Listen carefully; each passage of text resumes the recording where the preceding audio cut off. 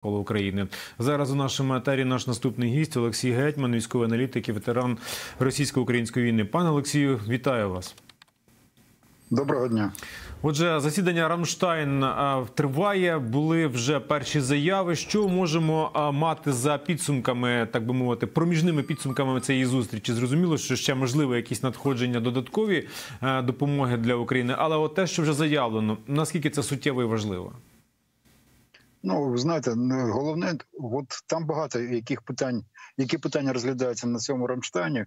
Ми постійно очікуємо ці зустрічі в форматі Рамштайн, е, вірячи в те, що там нарешті буде нам е, новітня зброя, ту, яку ми прагнемо отримати вже багато місяців. Там літаки, далекобійні ракети. Але на сьогоднішній день е, нам ми дуже потребуємо саме в артилерійських системах, в снарядах для артилерійських систем, в ракетах для реактивних систем залпового вогню. Ну і звісно, головна увага на сьогоднішній день це все ж таки засоби протиповітряної оборони, це зенітно-гарматні комплекси, зенітно-ракетні комплекси. Тому що наближається зимовий період. Ми знаємо про те, що навіть без розвідки а з офіційних російських джерел це є стало відомим, що будуть більш масовані атаки на нашу територію. Будуть намагати зруйнувати енергетичні системи, системи теплопостачання. Буде активно використовуватись саме шахеди, крім ракет, які вони зараз бачите. Ну і вже доволі довго триває пауза між минулим серйозним нальотом на нашу країну. Ну ракетною атакою. Тому можна вважати, що вони накопичують. Тому засоб протиповітряної оборони в першу чергу подивимось. Рамштайн ще не закінчився. Я думаю, що ну не я думаю, ми всі розуміємо, що після того як він завершиться, буде вже офіційно е, оголошено, що саме яку зброю нам будуть передавати. За виключенням може бути е, тих е, нюансів і тих. Тої номенклатури, яку не будуть офіційно оголошувати, бо є ще військова таємниця. По перше, по друге, є ще так званий туман війни. Я думаю, що і, е, наші партнери, наші друзі з Рамштайну будуть цим теж користуватися. Не всі яке постачатися, буде оголошено публічно. Ну, власне, ви от правильно зауважили, що сьогодні вже ні для кого не секрет, що Росія буде вчиняти ці масовані ракетні удари по нашій критичній інфраструктурі. І, власне, от до чого в цій ситуації готуватися населенню, розуміючи, що буде чимала кількість прильотів, зокрема і по об'єктам саме енергетики. Ну, я думаю, що треба купляти повербани, треба купляти якесь освітлення, яке не є, ну не потребує, не не, не, забирає на себе багато е, потужності. Ну, це світодіодні лам, е, такі лехтарики. Для цього до цього треба готуватися, бо певні відключення, звісно, будуть, тому що певні влучання, все ж таки, ми ж бачимо зараз вже на приклад, приклади інших війн іншої війни, що нема е, засобів протиповітряної оборони, які здатні на 100% забезпечити безпеку. Пробачте за тавтологію. Тому от це треба купляти. Але е, наші от енергетики кажуть, що вони підготувалися до можливих влучань і є певні е, схеми, певні певне розуміння, як можна переподключати мережі з одної на іншу. Це теж відпрацьовано. Ну на той час, коли та мережа, яка буде пошкоджена, е, ну, буде буде ремонт, е, ну буде відремонтована. До того ж, нам е, наші партнери постачають. Ну наскільки це е, є нетаємна інформація великої кількості потужних генераторів, які будуть працювати в той час, коли буде якась частина нашої енергомережі, тепломережі, електромережі буде зруйнована. Тому е, враховуючи те, скільки в нас е, зараз, наскільки в нас збільшились е, можливості нашої протиповітряної і протиракетної оборони, то є переконання, що цю зиму нам буде пройти простіше ніж минулу. Тобто росіяни будуть намагатися збільшити кількість атаку засобів, які вони намагаються атакувати, але в нас наше ППО сьогодні воно набагато більш потужне ніж ППО, наша протиповітряна оборона рік тому. Тому хвилюватися особливо не треба, але для того, щоб ну, відчувати якісь ну навіть не комфорт, щоб не хвилюватися, все ж таки я думаю, що зарядні пристрої треба придбати, і хай, вони будуть. Ну, всяк про всяк виходить. До речі, Велика Британія оголосила про виділення е, стаціонарного зенітного е, комплексу, який працює зокрема по дронам. Так розумію, що такого озброєння раніше ще Британія нам не надавала. Це ст- стаціонарне. Це означає, що його десь там е, ставлять в одному місці, і от він там засобами моніторингу відстежує простір в, не- в радіусі там не якомусь певному, і от знищує все, що туди підлітає щодень, що вночі. У нас таких комплексів, я так розумію, раніше не було. Це е, власне якась новітня розробка, чи це все, що вони зараз от нам виділяють, у них вже давно було, і просто зараз просто до цього час ну прийшов, аби поділитися, скажімо так. Я думаю, що це е, точно що не новітня розробка, тому що новітні комплекси, які розробляються зенітно-ракетні, вони точно не, не мають бути стаціонарними, бо він дуже вразливий, і його стаціонарний він буде знаходитися в одному та і тому самому місті. І е, де він знаходиться, е, швидко стане відомо і можуть здійснюватися атаки вже безпосередньо на цей зенітно-ракетний комплекс. Такі зенітно-ракетні комплекси треба охороняти, іншими зенітно-ракетними комплексами. Тому е, стаціонарно ну, у нас що, у нас були на озброєння. Ну що в радянському союзі це там 75-й комплекс. Він стаціонарний. Це попередник 125-го, 200-го, 300-го. Тому ви знаєте, от я скажу відверто, моя особиста точка зору, що це, це може бути непогано, якщо е, захищ- захищати безпосередньо якийсь е, окремо взятий об'єкт десь вглиб території нашої країни і захищати саме від е, балістич... ой, від, Шахедів. від шахедів, від але да, але такий об'єкт має бути в зоні. Е, В зоні е, забезпечення безпеки, чи ну в зоні в зоні можливої роботи противоракетних комплексів, бо е, 100% по ньому буде е, росіяни спробують по таким комплексам робити ракетні удари. Тому треба цей комплекс, ну як це не Прикривати. Так. Його треба прикривати від ракет. Він з шахетами, да, він буде боротися ну, вправно, але він має бути в зону накриття е, іншого е, ракетного комплексу, щоб захищати ракет. Ну що ж, ну так така от такі нюанси.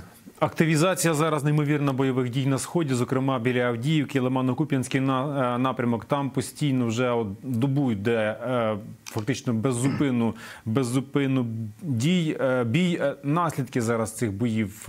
Які про що можна зараз говорити? Ну, от Авдіївський напрямок це ворог використовує трошечки іншу тактику, ніж раніше. Е, Не так він намагається захопити це місто, як вони робили на Бахмуті.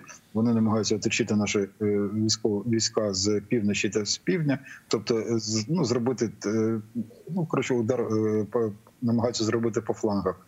Ну і тим не менш, там не тільки з флангах вони атакують, вони атакують крізь. Е, Добатам іде потужні авіаційні обстріли, артилерійські обстріли. Там руйнуються цивільні об'єкти. Ну, велика, велике, велике руйнування. Вони туди є відео вже по мережах е, інтернету. Вона гуляє, як туди вони підтягують важку техніку. Знов таки колонами їдять, е, їздять. Е, Тому чому саме Авдіївський напрямок? Чому саме тут? Ну а чому б ні?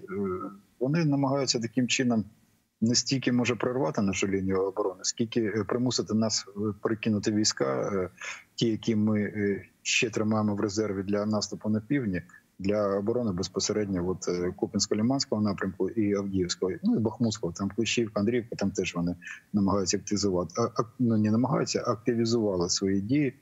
Просування в них поки що немає, але вони виснажують і наші збройні сили, в тому числі, бо ми витрачаємо і, і снаряди, і техніку, і, і на жаль, людей. Бо це дуже потужна. Іде, йде дуже потужна атака із дуже великим використанням е, артилерійських і інших е, і ну, артилерійських систем і авіації.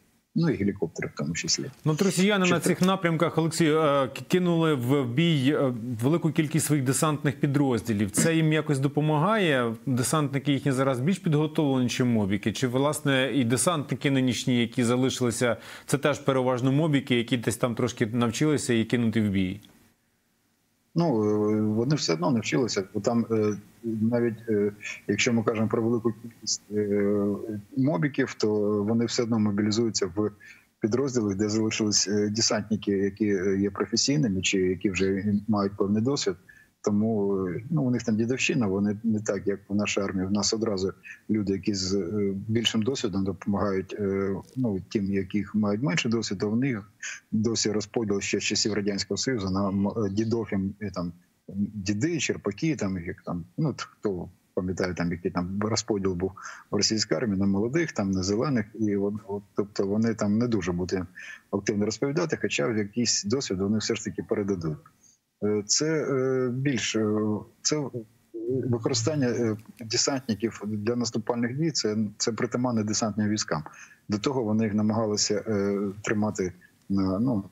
На Тикмакському, наприклад, напрямки там дві дві дивізії десантних тримати їх в обороні. Ну може, ми про це багато казали на різних каналах, різні аналітики, експерти про те, що це дивно, бо десантники використовувати в обороні це ну вони не вміють оборонятися. Це е, е, підрозділи швидкого реагування, суттєвих просувань, швидких. Ну, вони вони ну десантники не обороняються, вони наступають по великому рахунку. Це їхнє е, головне головне пред- предназначення, предназначення, пробачте російською. Е, і е, тому вони може почули наші всі ефіри і вирішили, що це, це дійсно дурня використовувати десантників в обороні і почали використовувати в наступу. Це для, для, для десантників це більш зви- звичний напрямок діяльності. Але нічого Чи- у них, але у десантників теж судячи з усього не вийшло. Бої були складні, продовжуються. Але, от до речі, кількість знищеної російської техніки, як і живої сили, просто ну. Суттєво зросла за даними Генерального штабу. Це наслідки того, що нічого не вдається. Да, звісно, ну у них наступі у них будуть зростати втрати. Це це вочевидь. Ми просто я не вихваляв російські десантники, просто казав про те, що безглуздо використовувати. Ну це як танки використовують е, в морі, наприклад. Ну це ну це ну це безглуздо.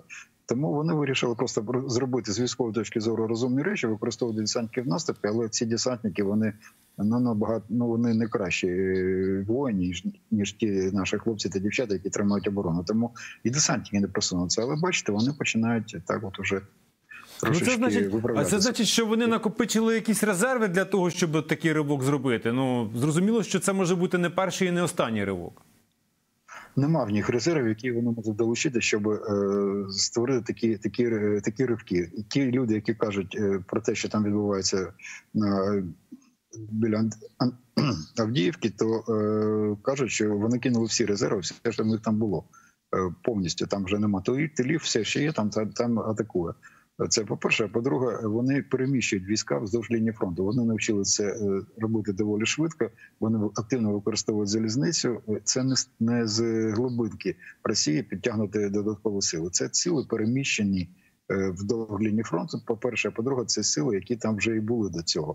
Ми ж ми ж знаємо, що у них було потужне групування е, на от Лімано-Куп'янському напрямку і на е, Вугледарському напрямку. Ну на півночі, на півдні цієї лінії східної лінії фронту. У них було е, велике групування. Трошечки менше було групування безпосередньо по центру, тобто в районі Бахмута. Швидше за все, вони додали просто може з півдня, може з півночі е, додаткові сили і зро- зробили на віднос. Це ж невеличке, це декілька десять, 10 кілометрів, чи там скільки лінія фронту. Тобто на невеличкій ділянці фронту вони вони здатні зробити якусь потужне групування. Це не ну ще раз головне, це не якісь е, додаткові е, сили, які вони долучили, яких не було раніше. Це все, що там там вони там і були на лінії фронту. Просто їх переміст е, змістили з одного міста в інше і зробили на, на певні вузькі ділянські фронту потужні такий ударний кулак. От, от і все. Ну, але Тому тоді це- і- Ну але тоді це означає, що якщо росіяни позбуваються зараз своїх резервів і не мають чим їх поповнити, наприклад, ви кажете, не можуть перекинути те з глибини країни а, інші підрозділи. От то це означає тоді, що в цій ситуації російська армія знекровлюється і фактично створюються можливості для контрнаступу українських військ. Я ну звісно, бо десь вони посилили, десь послабили. Тобто воно ж е, е, перетікання відбувається. Притікання, перетікання. Звісно, в нашому генеральному штабі розвитка військова розвідка, просто розвідка, аеророзвідка, е, розвідка наших партнерів. Вона чудово працює. Наше в нашому генеральному штабі чудово знає, звідки вони перемістили там які частини, які номера частин, навіть прізвища батькові керівництва, і навіть їхній психологічний портрет зроблено. Там все все добре працює. Ну поки що треба витримати цей удар. бо Вони все всі сили кинули на цей удар. Ну хочуть щось може довести саме собі, чи ну я не знаю, що вони хочуть. Бо навіть якщо їм вдасться оточити Авдіївку, це не на всі, всю війну це суттєво не вплине. Там нема чого такого. Ну як, наприклад, наші наступальні дії, наші мають е, певну мету перерізати можливість постачання чогось з Російської Федерації по суходолу в Крим. Це зрозуміло. Е, Тому а Авдіївка, ну там нічого не зміниться. Ну, тобто це Це, це зараз це зараз не ті м'ясні штурми от відбуваються, власне, які були раніше. Тобто вони трішки змінили тактику і кидають зараз тепер десантників на під, підсилених уже бронетехнікою. Да, ну звісно, такі ну ті місті штурми, які вони робили е, в інших містах, там Солідар, Бахмут, то це були зеки. Це Тих було треба було там показати, да, показати себе там, щоб ну якісь там були інші, крім військових, е, швидше за все інші їх були цілі. Тут ні, вони намагаються використовувати правильно розумну тактику, тобто атакувати по флангу, атаку бросати вперед е, дивізії, які ну підрозділи, які підготовлені для штурмових дій. Ну, хоча місні штурмов не відбуваються, але втрати вони несуть великі, і все одно ну, вони ну. Такого е, це все одно це не, не сучасна тактика. Ми воюємо краще, розумніше ніж вони. Бо ми наша тактика, е, натівська техніка, наша вже трошечки навіть краще ніж натівська. Ми по-іншому воюємо. Вони намагаються змовпувати. Вони ж е, вчаться на е, вони в тому числі в нас вчаться. Ну, Як ми ведемо бойові дії? Ну пробують скопіювати, поки що в них виходить не дуже, але це все ж таки з точки зору військової, це більш розумна їхня поведінка, ніж оці місні штурми, безглузді просто штурми, які вони чинили там в Бахмуті, наприклад. Спасибі, Олексію, за коментарі, за можливість поспілкуватися. Олексій Гетьман був з нами, військовий аналітик і ветеран російсько-української війни. Зараз у невеличка перерва. Повертаємося до вас за 5 хвилин з випуском новин.